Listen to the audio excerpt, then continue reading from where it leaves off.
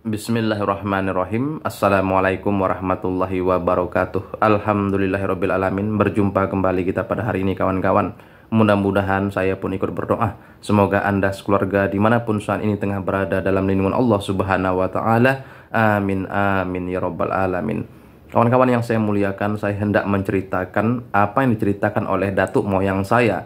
Beliau bernama Syekh Saman seorang pendakwah dari negeri Yaman sana yang menyebarkan agama Islam di Kabupaten Indragiri Hulu, Provinsi Riau pada masa lalu. Syekh Saman, datuk moyang saya ini, menceritakan pula hal ini kepada anak laki-lakinya yang bernama Datuk Bidul Loting. Dan Datuk Bidul Loting menceritakan kepada anak laki-lakinya yang bernama Ma'ruf. Dan Ma'ruf menceritakan kepada anak laki-lakinya pula, yaitu ayah saya. Dan ayah saya menceritakan hal ini kepada saya beberapa tahun yang lalu.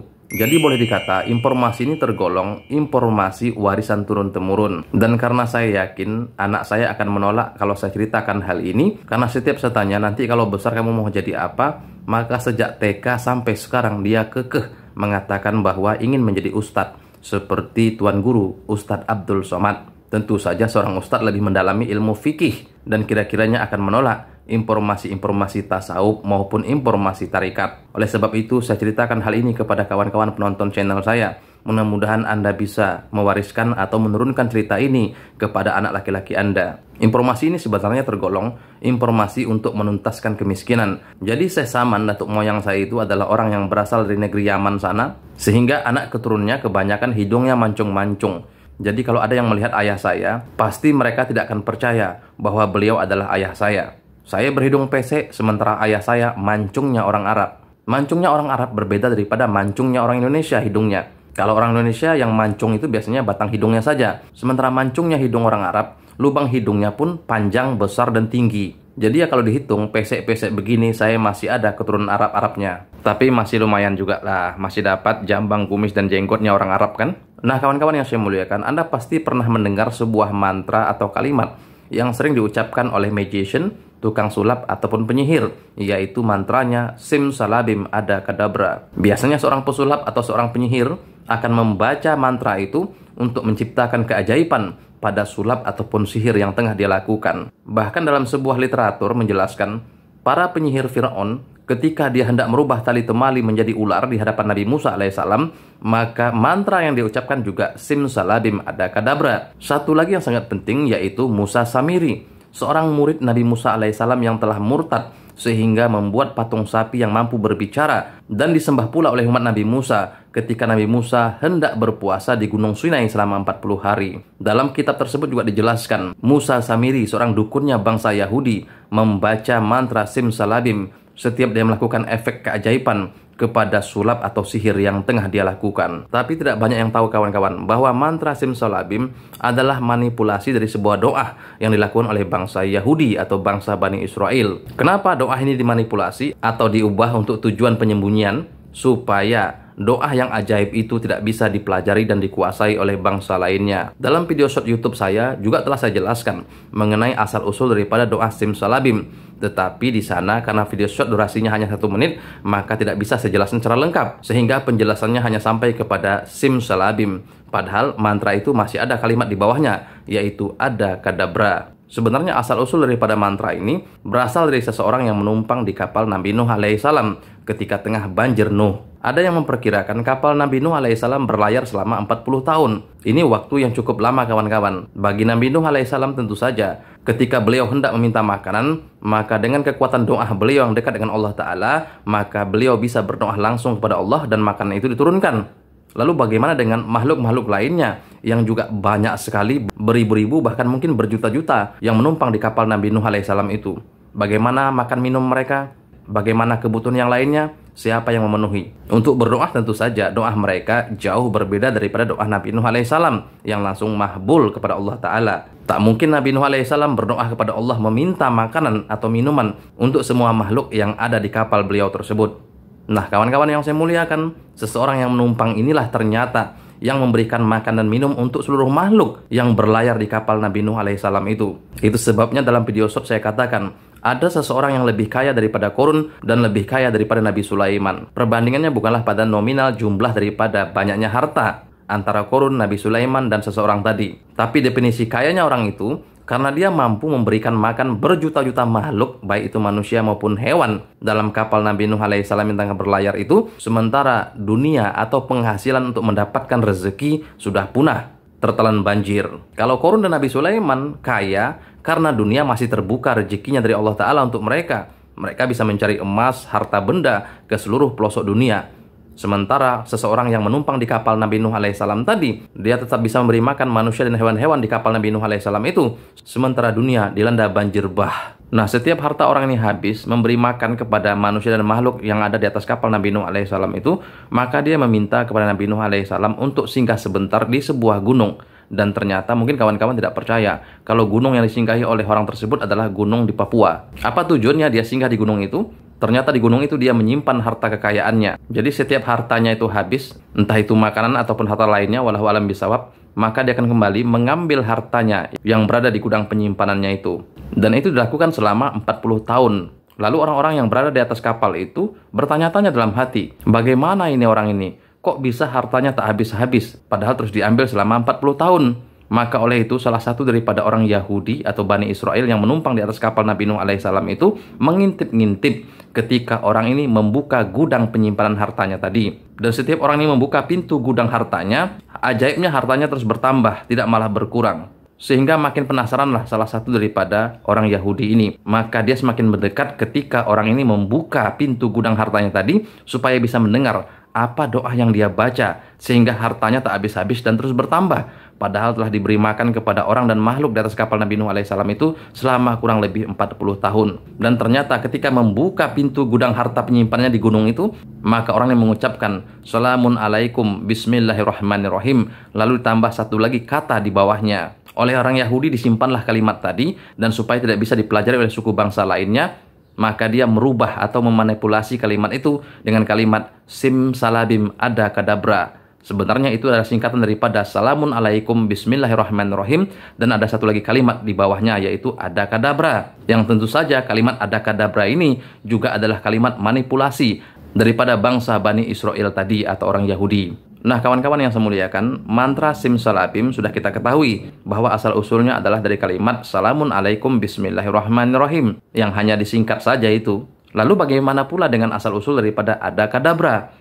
Kawan-kawan yang saya muliakan, sebenarnya ada kadabra ini adalah bahasa Ibrani, yaitu bahasa yang digunakan oleh Nabi Khidir. Coba kawan-kawan merujuk ke belakang lagi, Nabi Khidir pernah memberikan asma sungai raja kepada Syekh Kolil Bangkalan Madura dengan kalimat doa, Inna kuwatin naka tahta kitaban natah. Jadi hampir-hampir sama bahasa Ibrani itu. Ada kadabra naka tahta kitaban nata. Sebenarnya asma sungai raja yang lafaznya Inna kuwatin naka tahta kitaban nata itu jika Allah menghendaki, maka cukup dia mengatakan jadi, maka terjadilah. Karena tahta itu maksudnya kursi yuhus dalam bahasa Arab, yaitu zat yang menguasai segala sesuatu, Allah Ta'ala tentunya. Jadi sudah jelas sekarang bahwa sim salabim ada kadabra. Kalimat aslinya adalah Salamun alaikum bismillahirrahmanirrahim kun fayakun. Jadi dari mana saya mendapat tahu mengenai hal ini?